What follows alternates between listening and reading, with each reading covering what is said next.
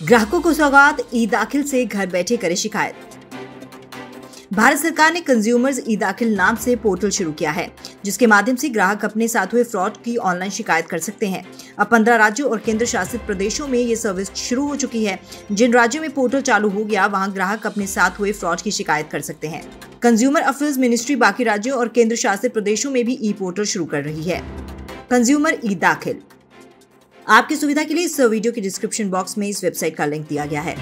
20 जुलाई 2020 से लागू उपभोक्ता संरक्षण अधिनियम के तहत उपभोक्ता उपयोगों में ई फाइलिंग और शिकायत दर्ज करने के लिए ऑनलाइन पेमेंट की सुविधा दी गई है।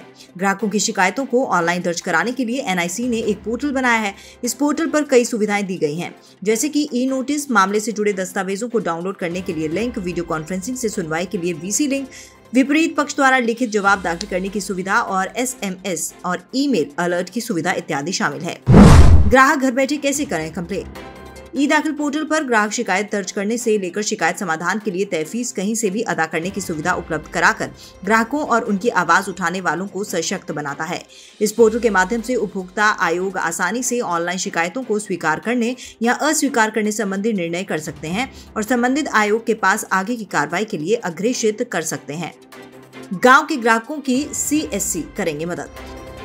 ग्रामीण क्षेत्रों के कस्टमर्स को भी सुविधा उपलब्ध कराने के लिए ये फैसला किया गया है कि सामान्य सेवा केंद्रों को ई दाखिल के साथ जोड़ा जाए। ग्राम पंचायत स्तर पर कई कस्टमर्स ऐसे हैं जिनके पास इलेक्ट्रॉनिक संसाधन ना हो या उन्हें पोर्टल पर शिकायत दर्ज करने में परेशानी हो।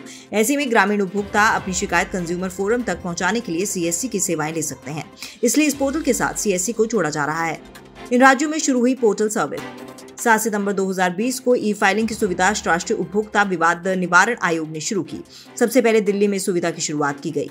इसके बाद महाराष्ट्र, अंडमान और निकोबार द्वीप समूह, बिहार, छत्तीसगढ़, झारखंड, गुजरात, चंडीगढ़, आंध्र प्रदेश, ओडिशा, उत्तर प्रदेश, मध्य प्रदेश, पंजाब, कर्नाटक और हरियाणा ने भी अपने अपने राज्यों में शिकायतों की ई फाइलिंग की सुविधा की शुरुआत की।